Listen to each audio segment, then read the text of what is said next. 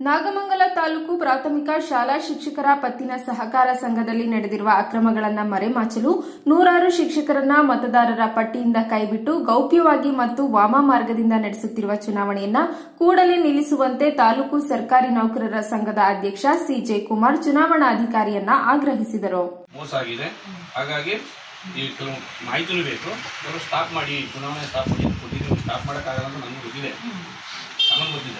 ಮೇಲೆ ಗೊತ್ತಾಯ್ತು.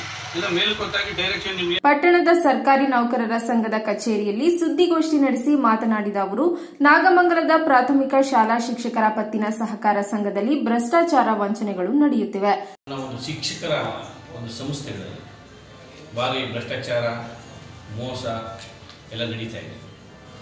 ಇವತ್ತು ಏನು ನಾಗಮಂಗಲ ತಾಲೂಕು ಶಿಕ್ಷಕರ ಪತ್ತಿನ ಸಹಕಾರ ಸಂಘ ಯಾವ ಉದ್ದೇಶದಿಂದ ಪ್ರಾರಂಭಿಸಿದ್ವೋ ಅದು ಆ ಉದ್ದೇಶನ ಈಡೇರಿಸಿದೆ ಕೇವಲ ಕೆಲವರ ಪಾಲಾಗಿ ಅದು ಪರಿವರ್ತನೆ ಆಗಿದೆ.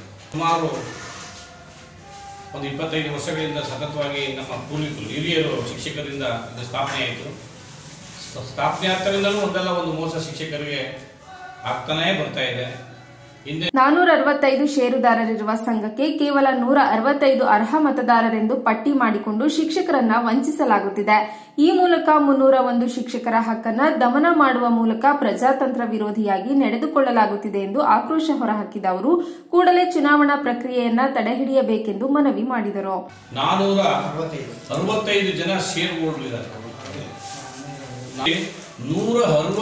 ಜನ ಮಾತ್ರ ಮತದಾನ ಮಾಡಕ್ಕೆ ನಿಲ್ಲಕ್ಕೆ ಅರ್ಹರನ್ನ ಪಟ್ಟಿ ಪ್ರಾರಂಭದಿಂದಲೂ ಎರಡು ಗುಂಪುಗಳಾಗಿ ಪೈಪೋಟಿ ನಡೆದಿರುವುದು ಸಾಮಾನ್ಯವಾಗಿದ್ದು, ಈ ಬಾರಿ ಮತದಾರರ ಪಟ್ಟಿಯನ್ನ ಕನಿಷ್ಠ ಸಂಖ್ಯೆಗೆ ಗುರಿಯಾಗಿಸಿರುವುದು ವಿವಾದಕ್ಕೆ ಕಾರಣವಾಗಿದೆ. ಈ ವೇಳೆ ಶಿಕ್ಷಕರಾದ Y D Shivanna, M R Somashekar, Rudresh Ugregowda ಇತರರು ಇದ್ದರು.